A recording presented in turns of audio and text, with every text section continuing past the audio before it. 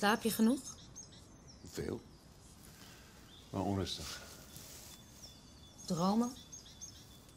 Vooral s'nachts. Ik word vaak tussendoor wakker.